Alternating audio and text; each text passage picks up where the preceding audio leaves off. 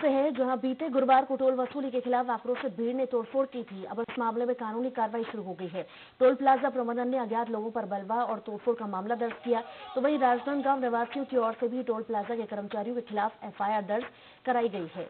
राजनांदगांव के ठाकुर टोला में लगा टोल प्लाजा में फास्टैग लागू होने के बाद राजनांदगांव पासिंग की गाड़ियों से टोल वसूला जा रहा था। वहीं स्थानीय लोग फ्री लेन राजनांदगांव निवासियों के लिए चालू रखने की मांग कर रहे थे। टोल प्लाजा के कुछ कर्मचारियों के विरुद्ध गाली गुप्तार करने जान से मारने की धमकी का पंजीबद्ध हुआ है।